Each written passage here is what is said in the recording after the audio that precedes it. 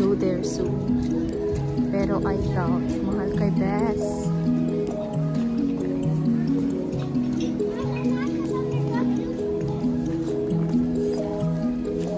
So they say that Leiden ay parang mini Amsterdam.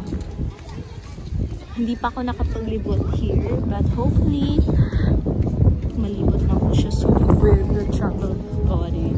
Because right now, I'm alone.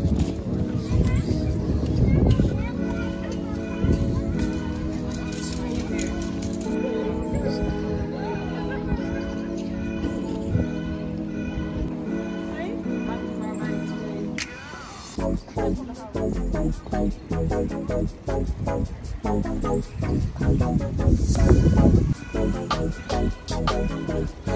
now, I am 4 minutes away from the museum na pupuntahan ko. And this is the way. Cute. Ang daming mga boutique sa mga gilid-gilid. Pero, ang daming sale guys. Pero no way. harmonium.